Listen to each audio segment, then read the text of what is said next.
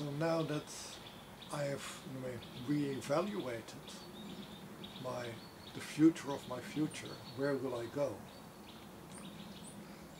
It's time to look at the whole process. So I'll take my final step back, actually. This takes me to the position where I started out from. And now I want to see the whole journey of how my intentions changed, how I disciplined myself, how I changed myself to be able to attain my goal,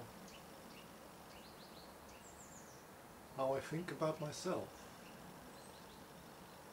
how I think about the changes in my social environment, how I think differently about my future.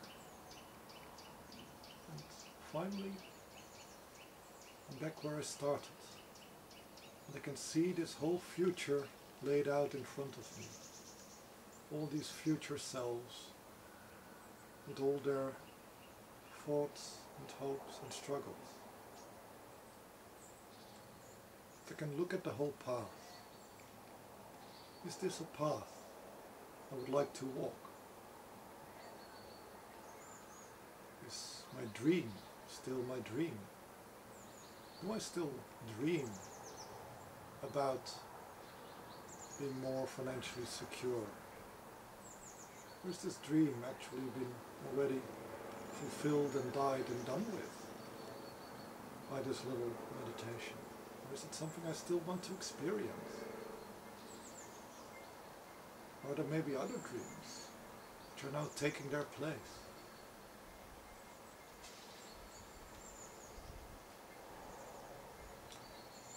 This case, if I feel into it, notice that in a way the ego has become more quiet. It's taken a step back. Because the ego wanted this, it wanted the money, and now also the ego has seen that it is an illusion, that it will not provide it what it thinks it will have. Yes, you will have the stability, but also the price will be that I will probably end up in a depression. Also the ego does not want it anymore.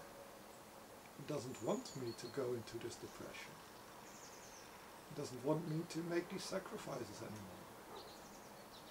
Because it also can see that it is fruitless, that it was a, in a way a dream, much more beautiful than reality will ever be.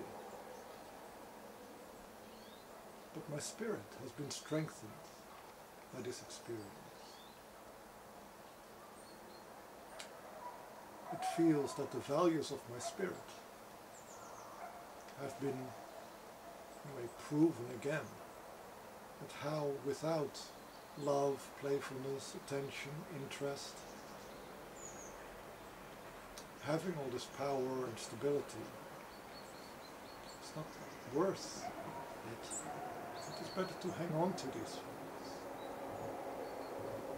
And maybe now there are dreams coming in, into me which are more from the spirit than from the ego.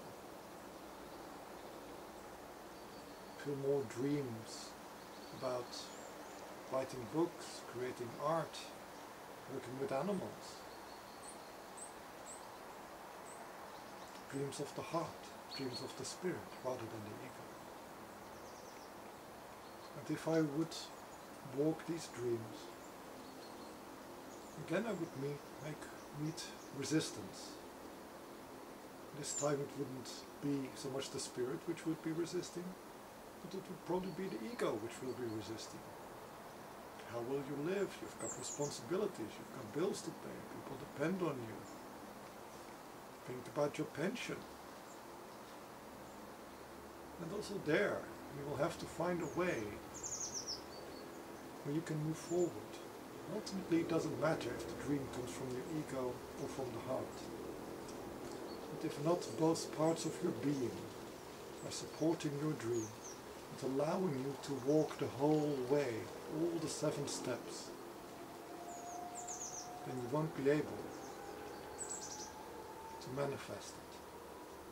And If you do, you will be sorry. So don't stop dreaming, but test your dreams.